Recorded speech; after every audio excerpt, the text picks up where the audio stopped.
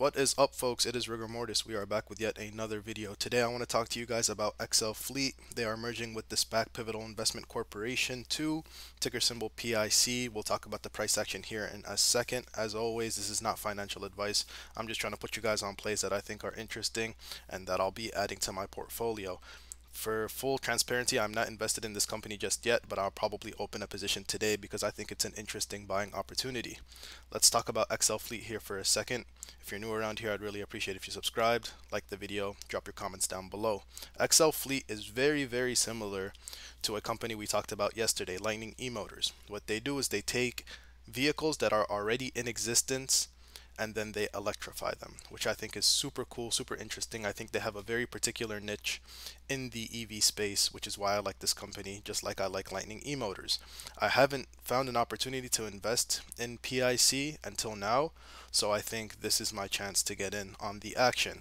So I'll just quickly read off some of these things. As you guys always know, what I do is I put you guys on, but I really want you guys to go out and do a little bit more research, try to investigate, see whether or not it's a good play for your portfolio personally, and then come back and make your decision. So these guys are a leader in commercial fleet electrification.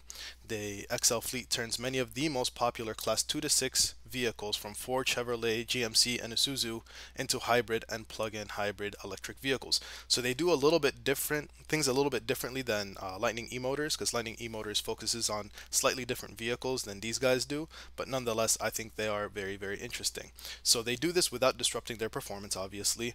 We make them cleaner and more fuel efficient while leaving the OEM powertrain. So they, they essentially leave everything that that is inside the the under underneath the hood essentially completely intact.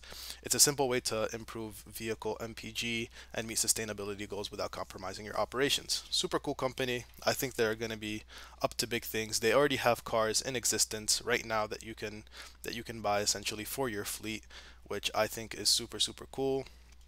Here's all the vehicles that they have right now that they're producing.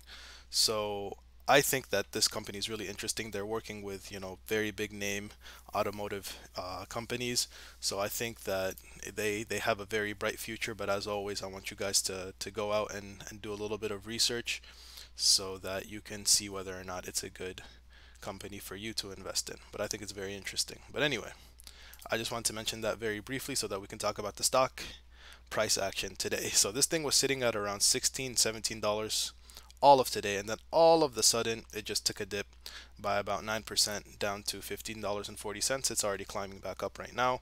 This stock fell and there was no news associated with this guys.